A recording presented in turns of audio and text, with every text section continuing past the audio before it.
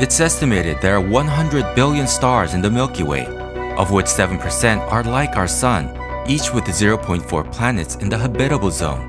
That would mean 2.8 billion planets have the potential for life. Now, if Earth is a typical planet, it would stand to reason that intelligent life must have also emerged on many of these planets.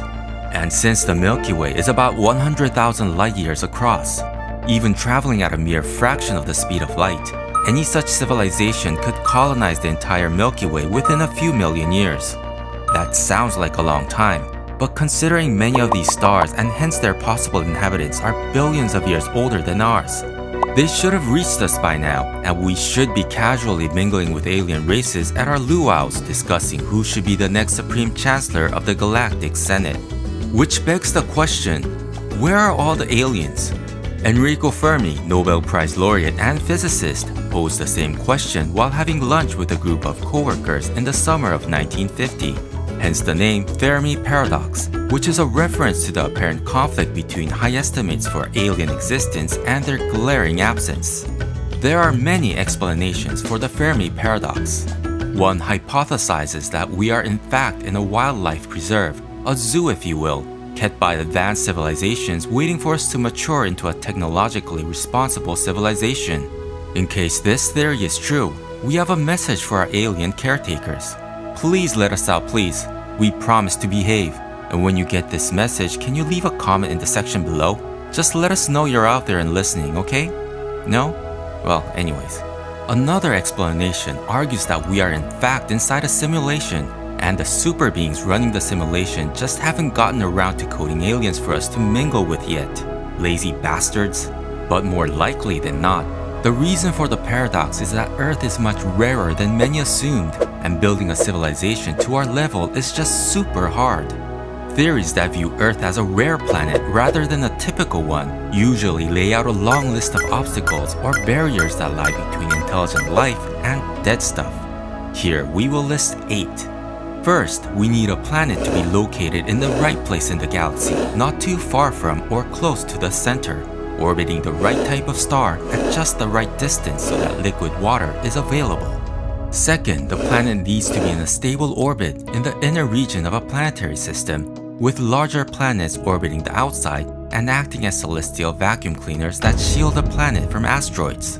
Third, the planet must have the right size so that it can have an atmosphere and must have a large moon that gives rise to tidal pools needed for life, and just the right tilt so that the planet has climate change but not too much.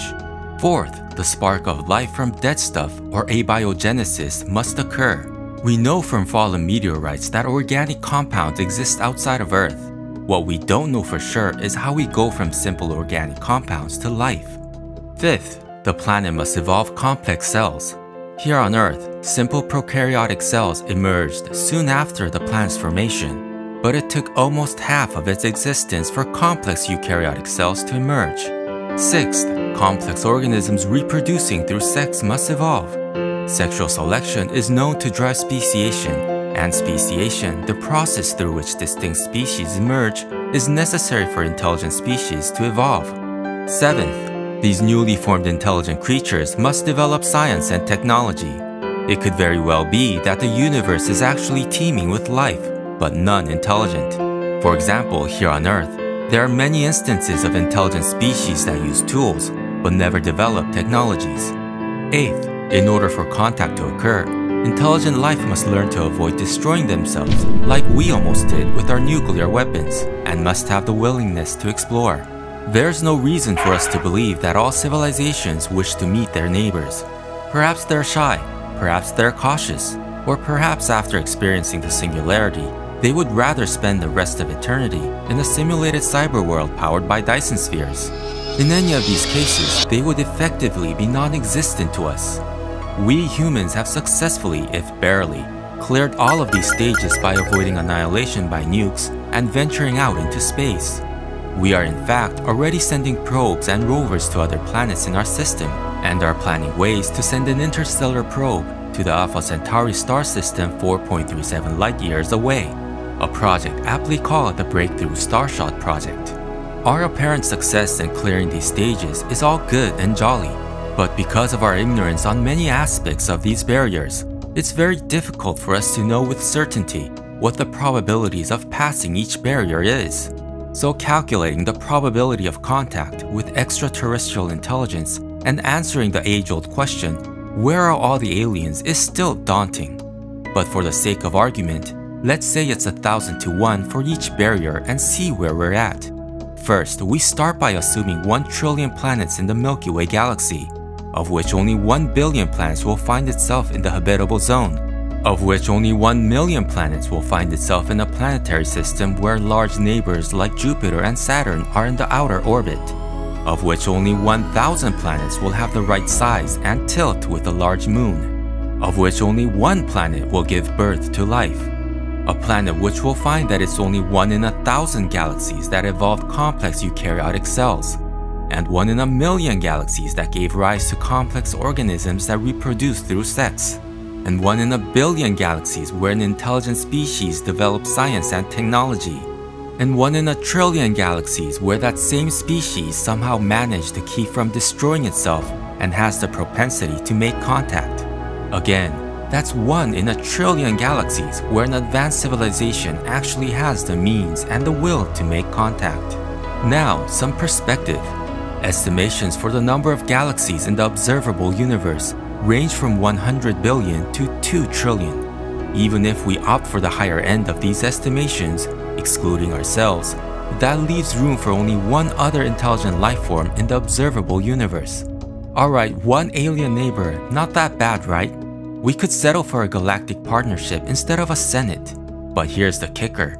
Because the universe is ever expanding, given enough time, all galaxies beyond those within our local group will eventually have moved so far from us, it would become impossible for us to ever reach them or see them. We all want to believe. But given that even the most generous interpretations of these barriers see them as daunting obstacles, and that we have yet to find any evidence of extraterrestrial intelligence here on Earth or elsewhere, it's very likely we are in fact alone in the universe.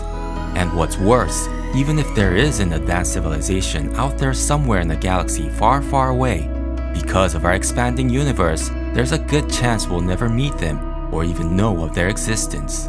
But no need for disappointment, because where many have failed, we succeeded and are now on the precipice of becoming an interstellar species that will one day colonize the Milky Way. In the meantime, however, we might still want to continue our search for extraterrestrial intelligence among the stars. You know, just in case. Stick science. Thank you for watching. Please like this video and subscribe to our channel if you haven't already.